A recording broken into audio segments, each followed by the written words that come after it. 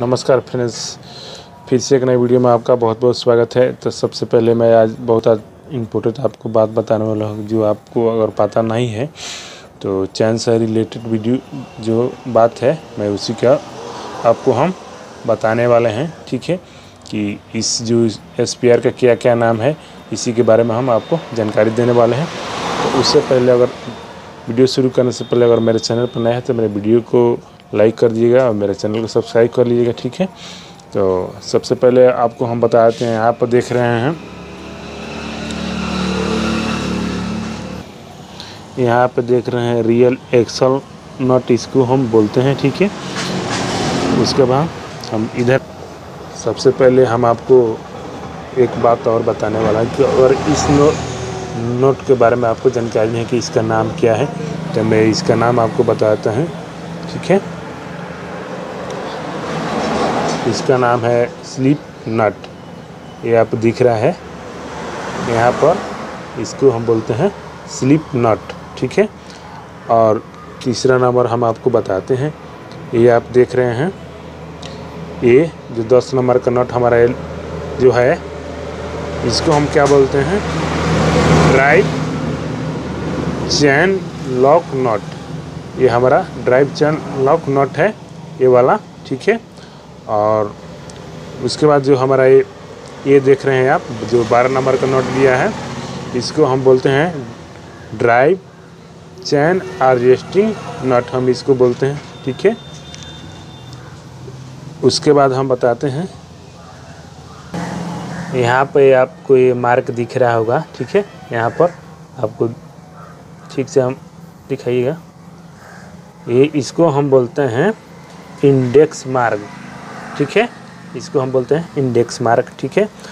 और उसके बाद हम बात कर लेते हैं इस इस वाले जो जो देख रहे हैं यहाँ पर, एक, दो, तीन, चार, पाँच, छ, यहाँ पर छ निशान आपको दिख रहा है। यहाँ पर इसका नाम है सेल ग्रेजुएशन ये हो गया, ठीक है? उसके बाद हम यहाँ पर बात कर लेते हैं चैन। जो हमारा देख रहे हैं बाइक का चैन भी पूरा ढीला हो चुका है। इसको भी हम आपको इसको अच्छी तरह से मिलाएँगे, इसको एडजस्टिंग अच्छी से करेंगे। इसका चैन हमारा प्रॉपर इस, इसमें होना चाहिए। जैसे आपको हम दिखा लेते हैं, यहाँ पे हमारा चैन आपको दिख रहा है। इसको ऊपर नीचे 25 एम mm होना चाहिए इतना पर। जैसे कि यहाँ पर आप देख रहे हैं, इतना पर इसको हल्का फ्री रहना चाहिए, तभी हमारा चैन परफेक्टली चलेगा, नहीं तो चैन हमारा टूट सकता है, ज़्यादा टाइट हो सकता है।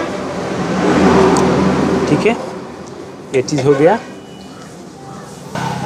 इससे पहले हम इसको भी आपको, हम बताते हैं, इसको हम क्या बोलते हैं?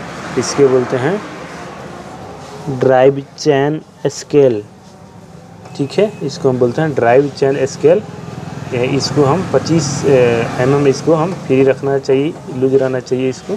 ठीक है? तभी ये प्रॉपर हमारा काम करता है, ठीक है?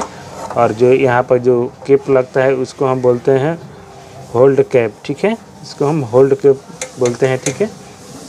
तो मैं इसको आप प्रॉपर ये चैन आपको यहाँ पर देख रहे हैं आप आपको दिखा देते हैं।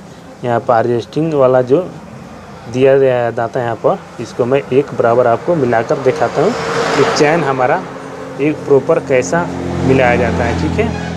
तो चलते हैं। मिला के उसके बाद हम आपको दिखाते हैं। जैसे कि देख रहे हैं मैं पहले हम एडजस्टिंग वाला नोट को कसेंगे, उसके बाद हम लॉक नोट को कस देंगे, ठीक है? तो सबसे पहले आप देख रहे हैं कि मैंने चैन को यहाँ से थोड़ा सा और टाइट कीजिए उसको। जैसे कि आप देख रहे हैं इस चैन को मैंने प्रॉपर इसको कस लिया हूँ, देख रहे हैं। इतना इसमें प्ले होना चाहिए, ठीक है? तभी हमारा ये प्रॉपर काम करेगा। इसके बाद यहाँ पर जो हम मार्क आपको दिखा लेते हैं। यहाँ पर आप देख रहे हैं।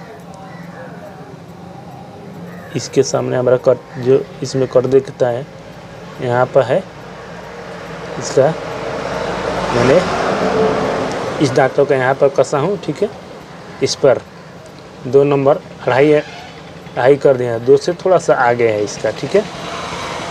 यहाँ पर आप देख रहे हैं, ये भी हमारा प्रॉपर है एडजस्टिंग देख रहे हैं।